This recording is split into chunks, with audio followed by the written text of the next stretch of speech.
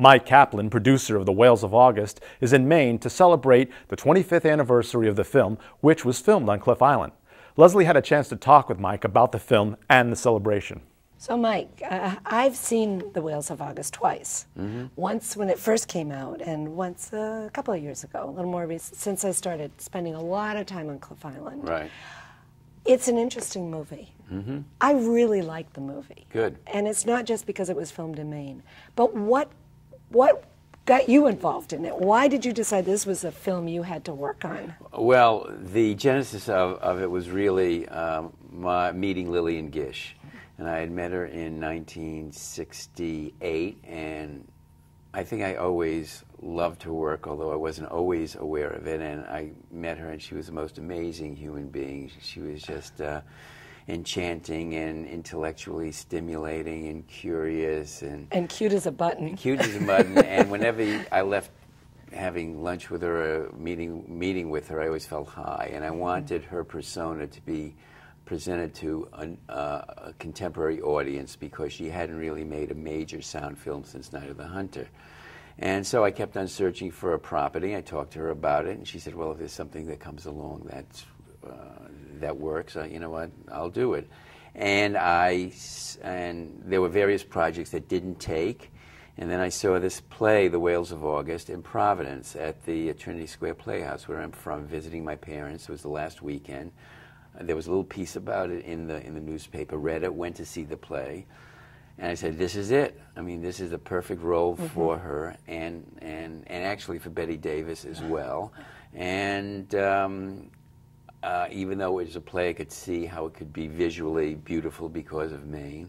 And uh, I met David Berry, the writer, who summered at Peaks Island. And um, th- that's how it happened. Yeah. And then seven years later, I got the money and, uh, and from Alive, and uh, we were able to make the film. Yeah. And of course, it's set here in Casco Bay in yes. Maine on the coast. Yeah. How did you? Uh, now the the mm-hmm. writer is from Peaks Island, so he knew of Casco Bay. Right. And you decided Maine would be the place. Well, we went to the location where it was set. Uh-huh. Uh, we did a location uh, scout. We stayed over at David's parents' house. They had passed away on Peaks. Looked at Peaks. Peaks wasn't right because it was too crowded, mm-hmm. and you mm-hmm. needed enough of a surround to get it be visually uh, right. beautiful. And so we took a boat trip. We went to I think Chebeague first, and then we a Great Diamond, and then we then we went around the islands, and we were coming up to Cliff. And I wanted the house in my mind to always be as distinctive.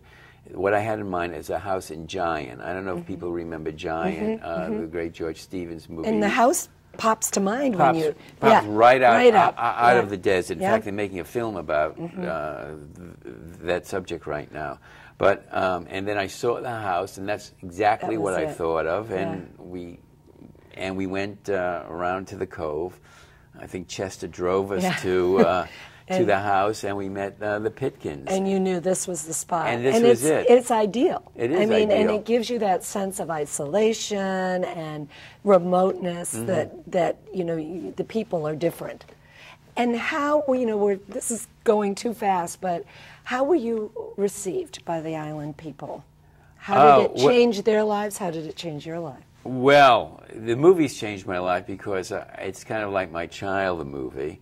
And the people on the island were extremely receptive. I think they were a little wary in the beginning. Even uh, Carolyn Pitkin and had and Frank had told people about it. He said, "Oh, "Who's going to make a m- movie with Bette Davis and Lillian Gish now? I mean, they're pulling your leg." Yeah.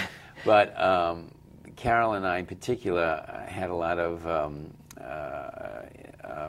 things in common, Mm-hmm. and uh, there were books that we both knew about, which were kind of uh, a little esoteric. So we hit it off right away, and the and the people on the island were were terrific. And we, uh, I remember, I came back, everything was set, and they had to have one final vote in the town hall, Uh-huh. which I flew in from New York and told them, um, you know, we what was going to happen, and they all participated, and I wanted to bring the community into Mm-hmm.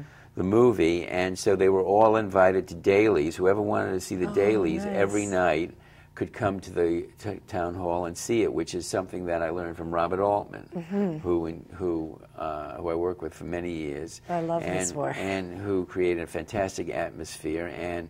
Everyone, uh, every night was a par- sort of a party after shooting, Mm-hmm. after the v- vigorous, uh, taxing days of shooting. You went to dailies, and there was a spread out there, and everyone could see their work. That's so cool. So that, Well, I, I know that um, it's it's so important to the island that that movie was there. It, it did change many things, and Maine is now becoming more of a place to shoot films. Good. But back then it wasn't No. so. So for us, it's a very important film. Us, those of us in the state, and I I wish you well with reintroducing it on the 25th anniversary to the rest of the world. all right. Well, thank you. I can. Well, maybe I'll tell this other story next. Well, thank you for being here today. My pleasure. Yeah.